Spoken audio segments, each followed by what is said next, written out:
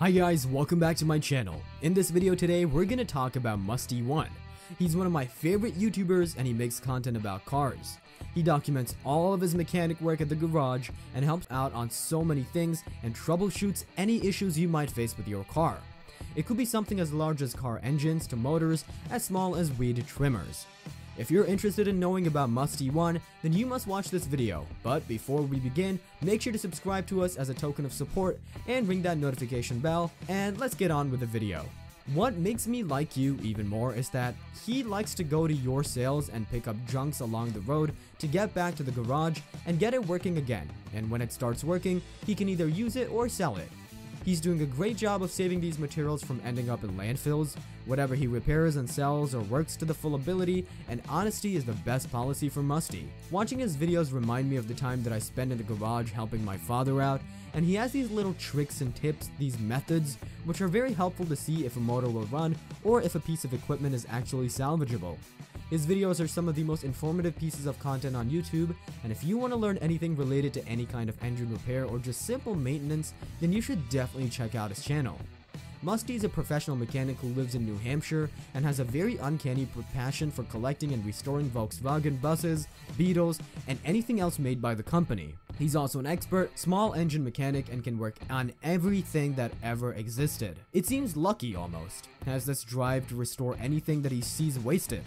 His channel teaches us about the value of things that we don't normally care about once it's broken down. Some of the most down-to-earth people that I've ever seen, and if you ever see him buying something new, then that could go viral because everything he does is just a restoration of the things that he finds randomly on the way. His channel is some of the most diverse channels on the internet. He's restored a John Deere 318, 1977 Honda Trail 90, $500 Yale forklift, Volkswagen Hippie bus, Porsche 911, rusty old Honda CT70, 1965 Volkswagen Karmann Ghia, an antique marine engine, Lamborghini Diablo, amusement park go-kart, 1965 Econoline, Suzuki LT80, which is the four-wheeler and he got it for free, Porsche 914 wagon, Schwinn Phantom with engine restoration, Yamaha Enduro, antique suitcase scooter, King Midget microcar, snapper riding mower, golf cart pickup truck, basket case, 1970 Mercury Cougar, among various others.